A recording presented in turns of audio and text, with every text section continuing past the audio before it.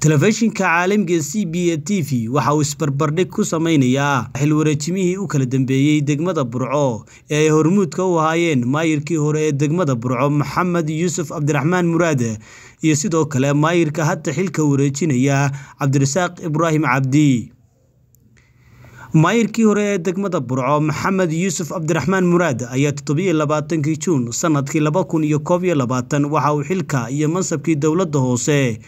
uu ku wareejiyey maayir cabdirasaaq ibraahim cabdi heero wakhtigaasi waxa uu deyn ahaan maayir muraad u wareejiyey lacag dhan boqol iyo labaatan kun oo dollar waxaana nidaamka iyo sistamka ku soo jiray dhaqaale loogu talagalay wadooyin laga hirgeliyey gudaha magaalada burco. Wakhtigaasi waxa uu maayir heero sheegay inay warbaahinta la hadli doonaan islamarkaana bulshada ay u caddayn doonaan deyntaasi lagu wareejiyey isagoona aada uga xumaa deynta lagu wareejiyey annaguna waxaanu ballan qaadanaya nala ogaataan waxaanu gacanta ku hayn. Waxaanu idiin sheegaynaa oo kale inaanu shi jireed qaban doono oo hadalkan ka dambeeya oo waxaa badan nalagu wareejinayo bid by bid aanu idiinku sheegi doono oo muddo kadib aanu qaban doono insha allah. Inaad nala ogaataan waxa rasmigeena lagu wareejiyey oo tirsan wixii ka badqaba waxa aan ka badqabin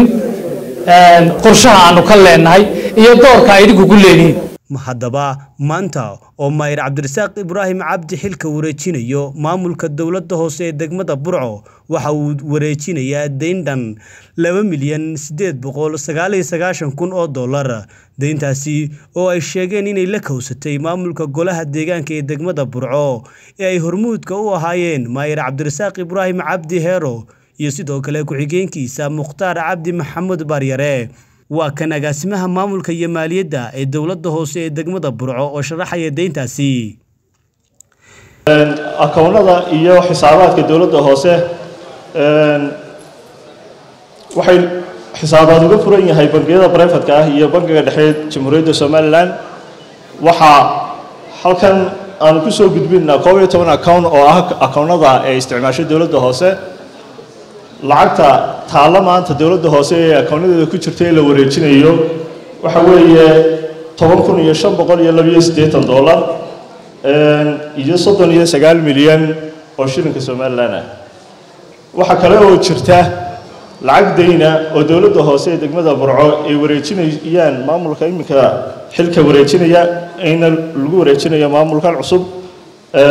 Lacagtaas oo ka kala timi qaybaha sablaayarada adeega bixiya ee siiya dowladda hoose sida kaalmaha shidaalka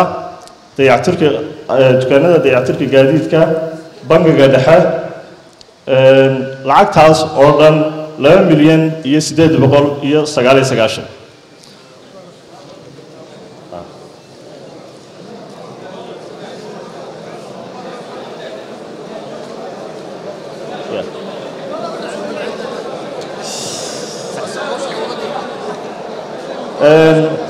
markaa